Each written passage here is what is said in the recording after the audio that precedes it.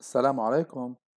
Dans cette vidéo, on va continuer la deuxième partie du chapitre 10, fonction polynôme. Objectif, déterminer les extrémums euh, d'une fonction polynôme et déterminer les éléments de symétrie de la courbe d'une fonction.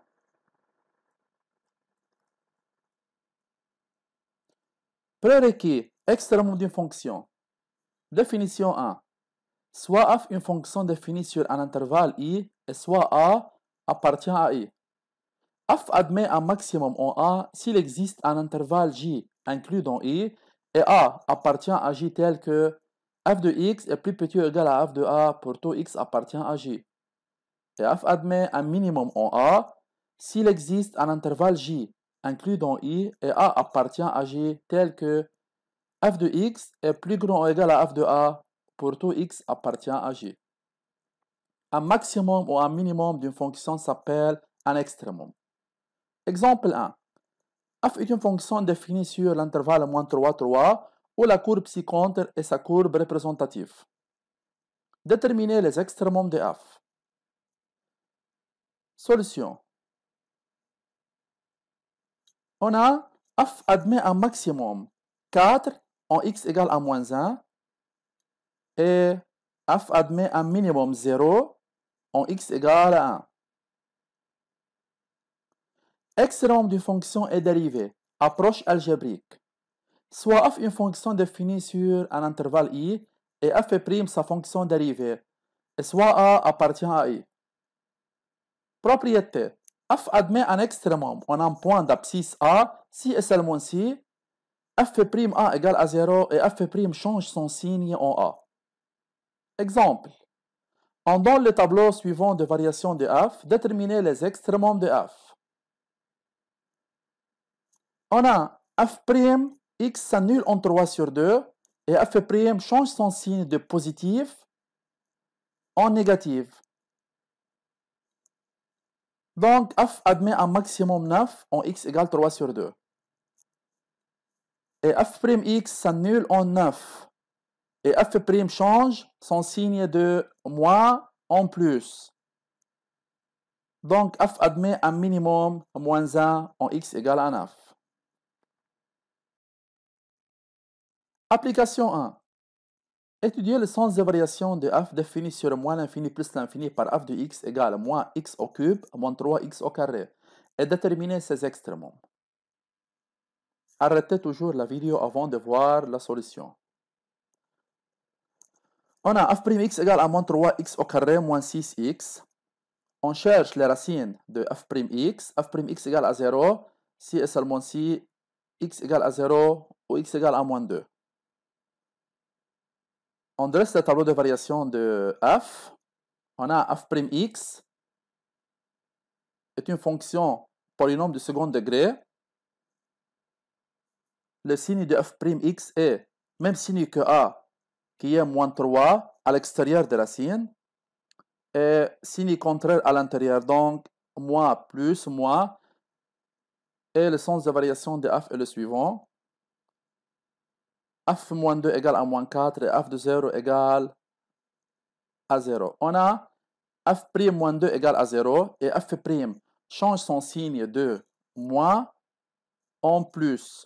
Donc f admet un minimum moins 4 en x égale à moins 2. Aussi, f'0 égale à 0 et f' change son signe de positif en négatif. Par suite, f atteint un maximum 0 en x égale à 0. Jad et Jawad ont travaillé le même exercice suivant.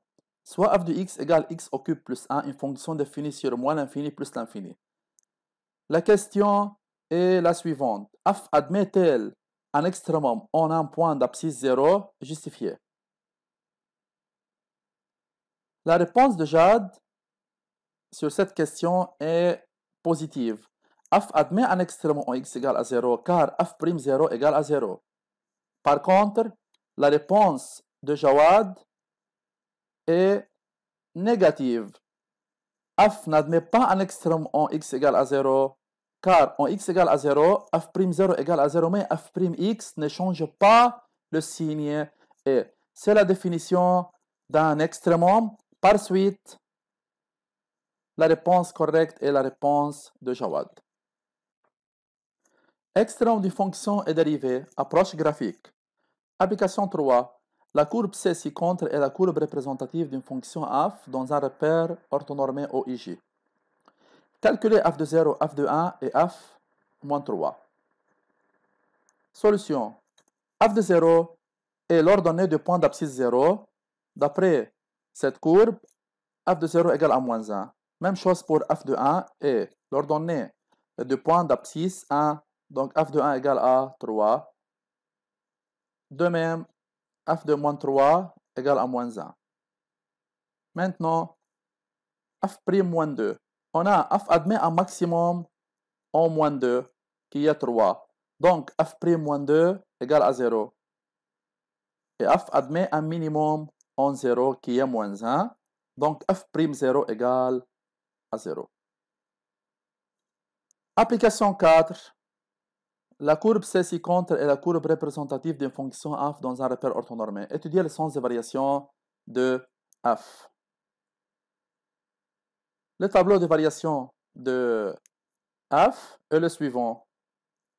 On a, d'après cette courbe, f est croissante sur l'intervalle moins l'infini moins 1. Et f de moins 1 égale à 4. Puis f est décroissante sur l'intervalle moins 1, 1, et f de 1 égale à 0.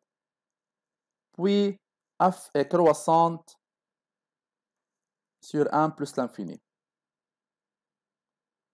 Par suite, sur moins l'infini moins 1 union 1 plus l'infini, f est strictement croissante et sur moins 1, 1, f est strictement décroissante.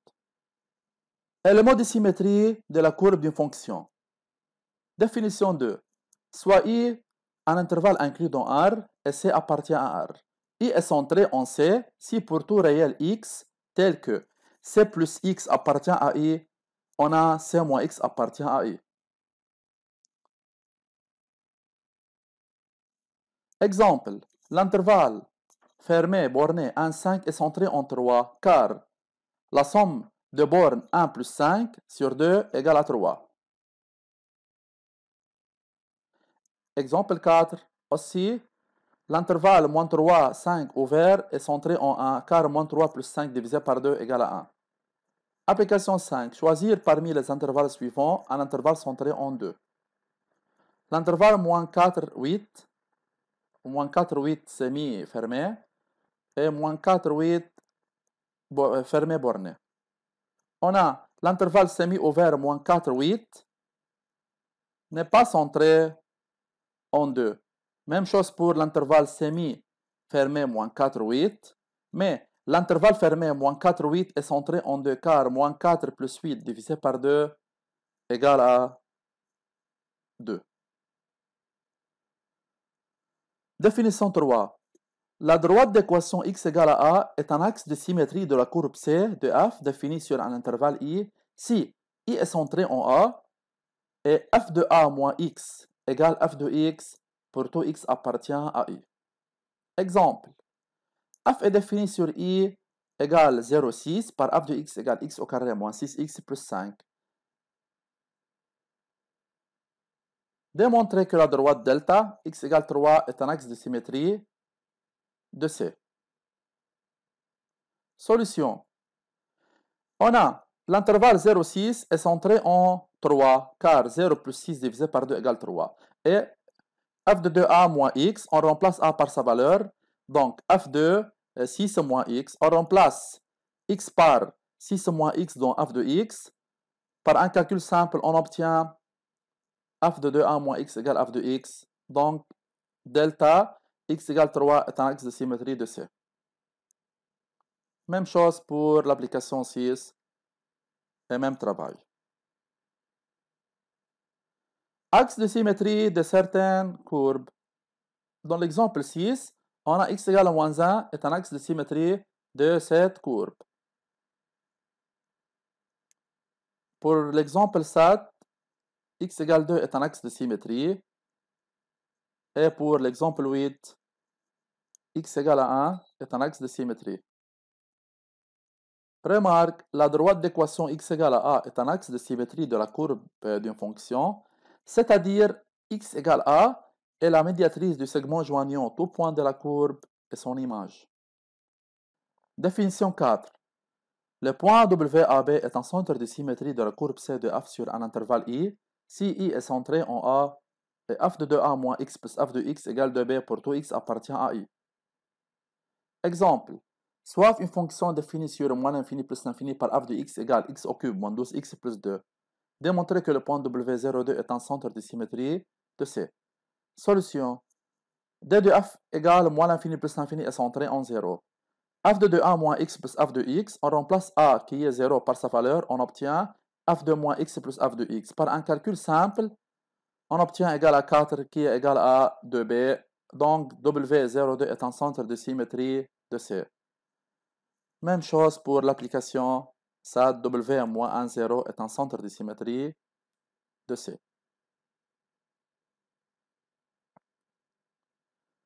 Centre de symétrie de certaines courbes. Dans l'exemple 10, I02 est un centre de symétrie de cette courbe. Dans l'exemple 11, I-2, 1 est un centre de symétrie. Et dans 12, I-1, 0 est un centre de symétrie de cette courbe. Remarque, IAB est un centre de symétrie de la courbe d'une fonction, c'est-à-dire IAB est le milieu du segment joignant tout point de la courbe et son image. Devoir exercice supplémentaire 1. Si vous avez oublié certains détails, regardez de nouveau la vidéo. Et quelques résumés sur la parité de f, sur le sens de variation de f, sur les éléments de symétrie d'une fonction f. Le suivant, étudier les, les fonctions polynômes du deuxième et du troisième degré et tracer leur cours dans un repère orthonormé. Et merci beaucoup.